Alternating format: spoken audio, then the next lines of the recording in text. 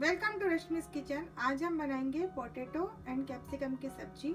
उसके लिए हमें जो जो सामग्री चाहिए, वो है three cup capsicum one cup potato जो कि मैंने पानी में भिगो के रखा है, जिससे कि वो काले नहीं होते हैं। Half cup dice tomato two tablespoon sesame seeds one tablespoon coriander powder one teaspoon cumin seeds one teaspoon red chilli powder, जो कि आप अपने हिसाब से कम ज़्यादा कर सकते हैं। One four teaspoon carom seeds, one four teaspoon turmeric,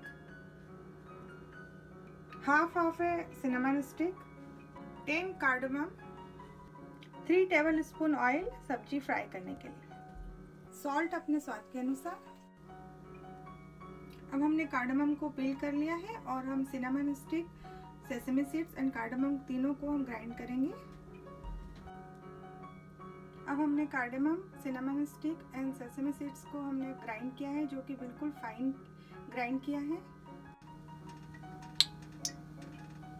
अब एक पैन में हम ऑयल डालेंगे। अब हम अजवाइन डालेंगे सबसे पहले। जीरा डालेंगे। रेड चिली पाउडर धनिया पाउडर और अब हम कैप्सिकम को मिला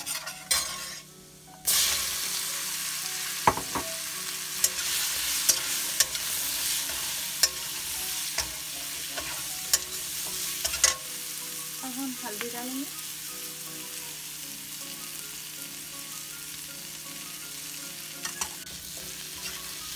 अब हम इसको फाइव मिनट तक कवर करके अच्छे से पकने देंगे उसके बाद हम इसमें आलू को डालेंगे। फाइव मिनट हो चुके हैं। और अब हम आलू डालेंगे।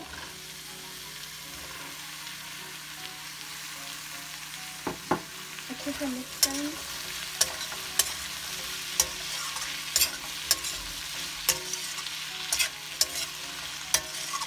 अब हम फाइव मिनट और पकने देंगे।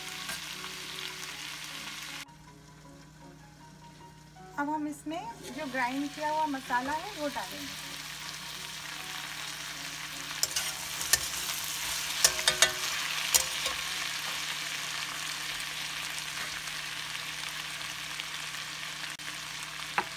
और अच्छे से मिक्स करेंगे।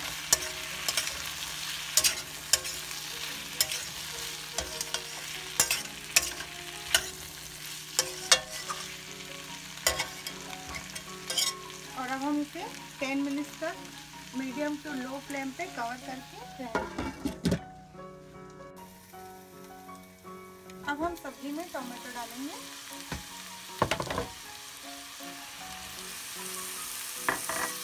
और अच्छे से मिक्स करेंगे।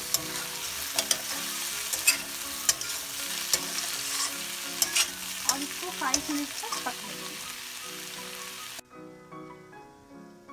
अब हमारी सब्ज़ी बन चुकी है और टोटल टाइम 20 टू 25 मिनट्स का टाइम है। इसमें सब्ज़ी अच्छे से पक जाती है। अब हम गैस को ऑफ़ कर दें